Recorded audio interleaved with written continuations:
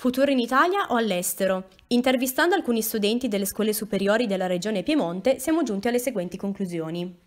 Verso quale università all'estero in Italia saresti orientato dopo le scuole superiori? Dopo la scuola vorrei continuare a studiare, quindi fare l'università. Eh, preferirei farla in Italia, mentre per un lavoro magari spererei qualcosa all'estero, tipo negli Stati Uniti come nei grandi film, diventare famoso, qualcosa del genere.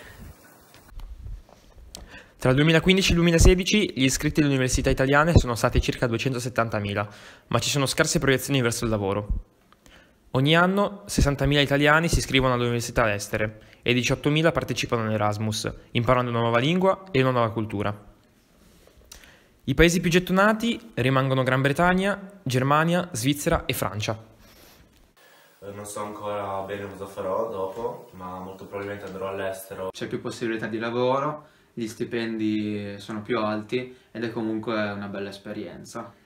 Dai dati raccolti abbiamo ricavato che quasi tutti gli intervistati abbiano espresso il desiderio di proseguire gli studi all'estero e tutti siano intenzionati a ricercare un lavoro nei paesi esteri. Difatti, circa la metà dei giovani italiani è pronta a lavorare nei paesi stranieri. La causa di tutto ciò è che in Italia il lavoro venga sottopagato, circa 3 milioni di persone siano disoccupate e sia difficile trovare una sistemazione lavorativa sicura e inerente agli studi eseguiti.